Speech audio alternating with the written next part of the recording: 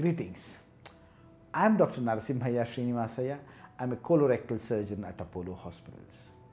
Not many problems related to the anal canal are an emergency, but some are, and one of them is anal abscess, also called as perianal abscess. Abscess is a collection of pus around the back passage, thereby causing pain, discomfort, swelling and discharge of pus. So, if you have a lump, if you have pain, if you have fever and if there is any discharge, it is very likely that you are troubled by a perianal abscess and you need urgent attention. Why do you get a perianal abscess?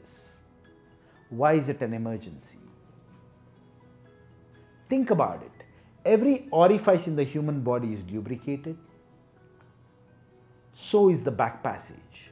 The back passage is lubricated by special glands called as anal glands. These anal glands open to the lipstick line in the back passage.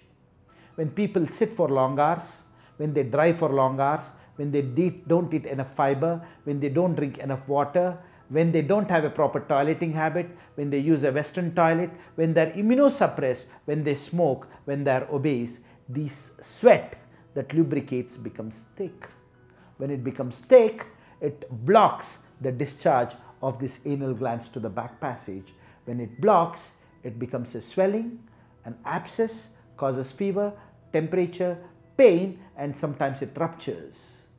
When it doesn't rupture, the doctors have to incise it and let the pus out. This essentially is a perianal abscess. Why is it an emergency? If you do not attend to it soon, it can spread around the muscles of the back passage and may open in a bad position or a wrong position or a position which can be very complex for it to be treated in the future.